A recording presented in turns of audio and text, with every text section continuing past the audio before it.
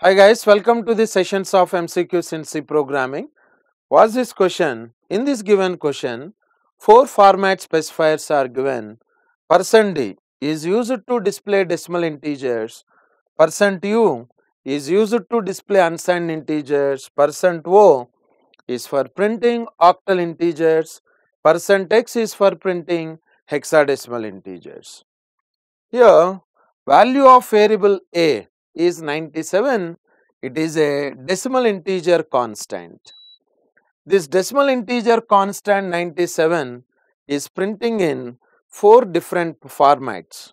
That is, it is printing in a decimal integer format, unsigned integer, octal integer and hexadecimal integer. If we are using the format code percent %d, the same number 97 is printed. Even if we using format specifier percent %u, 97 is printed because unsigned integers range is 0 to 65,535. Unsigned integers range is 0 to 65,535.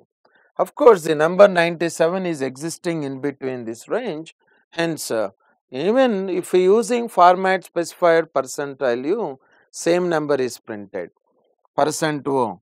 Here, the equivalent octal integer for this decimal value 97 is printed. How to convert the decimal value 97 into octal.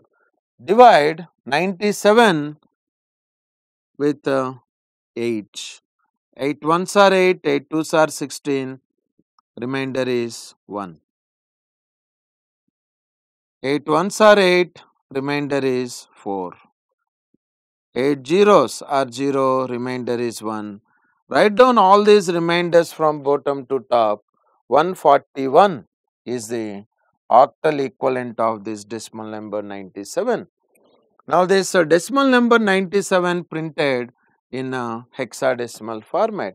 Just convert the decimal value 97 into hexadecimal, divide this 97 with 16, as the reminders, write down those reminders from bottom to top. So the number is 97, divide this 97 with uh, 16, 16 sixes are 96, remainder is 1, 16 zeros are zeros, remainder is 6.